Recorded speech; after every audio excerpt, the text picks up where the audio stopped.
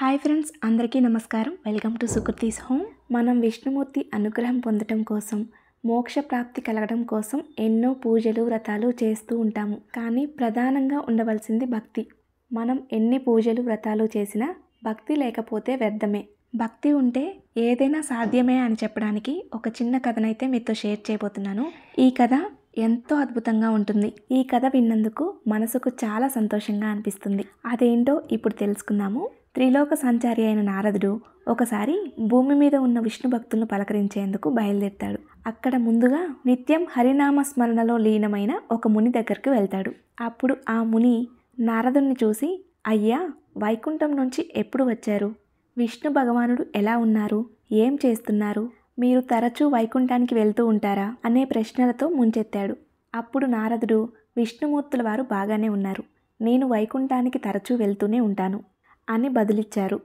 అయితే అప్పుడు ఆ ముని స్వామి మీరు ఈసారి వైకుంఠానికి వెళ్ళినప్పుడు నాకు మోక్షం ఎప్పుడు ప్రసాదిస్తారో? దయచేసి స్వామివారిని అడగండి అని నేను వేడుకుంటున్నాను అన్నాడు. సరేనంటూ నారదుల వారు ముందుకు సాగిపోయారు.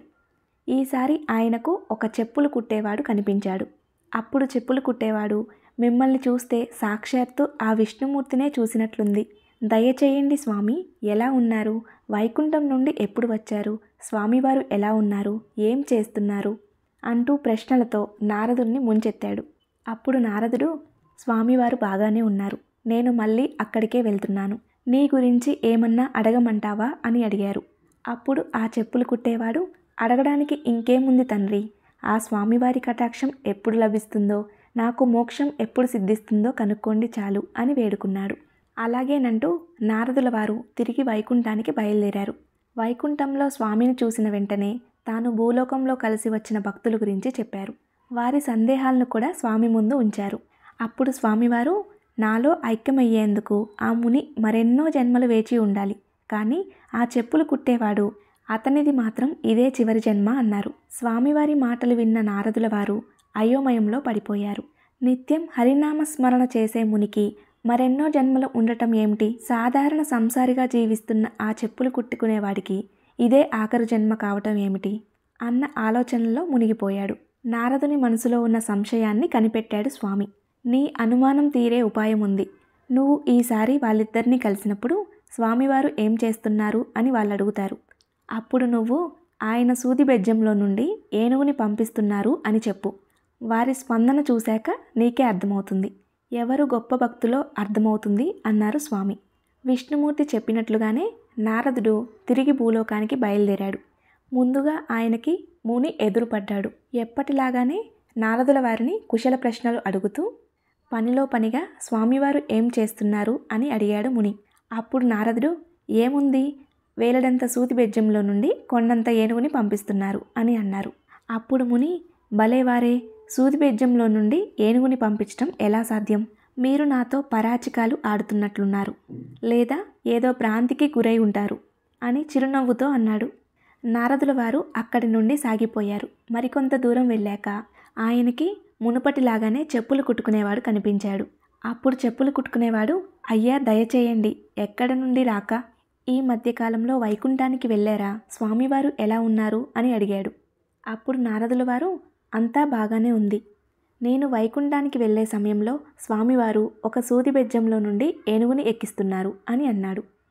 అప్పుడు చెప్పులు కుట్టుకునేవాడు మంచిది మంచిది స్వామివారు తలుచుకుంటే సాధ్యం కానిది ఏముంది? అని అంటాడు ఆ భక్తుడు. అదేంటి? స్వామివారు ఎంత గొప్పవారైతే మాత్రం అంత అసాధ్యమైన కార్యాన్ని చేయగలరని నువ్వు నమ్ముతున్నావా? అని ఆశ్చర్యంగా అడిగాడు నారదుడు. అప్పుడు చెప్పులు కుట్టుకునేవాడు భలేవారే స్వామివారికి అసాధ్యమంటూ ఏముంటుంది? ఇదిగో ఈ మర్రి పండును చూడండి. ఈ మర్రి పండులో వేలాది గింజలు ఉన్నాయి కదా. ఆ గింజలన్నీ మళ్ళీ చెట్టుగా మారుతాయి కదా. పోనీ అక్కడితో ఆగుతుందా? ఆ మర్రి చెట్టు ఊడల కిందకి దిగి విశాలమైన వనంగా మారుతుంది. ఇంత చిన్న పండులో అన్ని మహావృక్షాలు ఇమిడి ఉన్నప్పుడు స్వామివారు చేసిన దాంట్లో ఆశ్చర్యం ఏముంది? సృష్టిలో ఇలాంటి అద్భుతాలన్నీ ఆయనకి మాత్రమే సాధ్యం కదా అన్నాడు చెప్పులు కుట్టుకునేవాడు. పైకి ఎంతో సాధారణంగా కనిపించే ఆ భక్తుని మనసులో భగవంతుని పట్ల ఉన్న విశ్వాసం ఎంత బలమైనదో నారదుల వారికి అర్థమైంది. స్వామివారు చెప్పినట్లుగా అతన్నే మోక్షం ఎందుకు వరించిందో తెలిసి వచ్చింది. ఈ కథను బట్టి అర్థమయ్యేది ఏమిటంటే మనం పూజ ఎంత ఆడంబరంగా చేశాము అనేది ముఖ్యం కాదు. ఎంత భక్తితో చేశాము ఎంత విశ్వాసంతో చేశాము అనేదే ముఖ్యము. చాలామంది కామెంట్ చేస్తున్నారు. అలానే పర్సనల్గా కూడా మెసేజ్ పెడుతున్నారు. మేము పూజ చేశాము ఫలితం ఎప్పుడు లభిస్తుంది అని అడుగుతున్నారు. పూజ అనేది భక్తి శ్రద్ధలతో చేయటం మాత్రమే మన వంతు. మనకు ఎప్పుడు ఏది ప్రసాదించాలో అప్పుడు మాత్రమే స్వామివారు ప్రసాదిస్తారు. మన ఎందు భక్తి ఉంటే త్వరగా ఫలితం లభిస్తుంది. మనం ఫలితం కోసం చూడకుండా భక్తి శ్రద్ధలతో పూజ చేసినట్లయితే తప్పకుండా స్వామివారి అనుగ్రహం పొందవచ్చు. తెలుసుకున్నారు కదండి స్వామివారి అనుగ్రహం పొందాలంటే భక్తి మాత్రమే ప్రధానంగా ఉండాలి అనే విషయాన్ని ఈ వీడియో కానీ మీకు నచ్చినట్లయితే లైక్ చేయండి. మీ స్నేహితులకి బంధువులకి షేర్ చేయండి. మరిన్ని వీడియోస్ కోసం మన ఛానల్ సబ్స్క్రైబ్ చేసుకోండి. ధన్యవాదములు.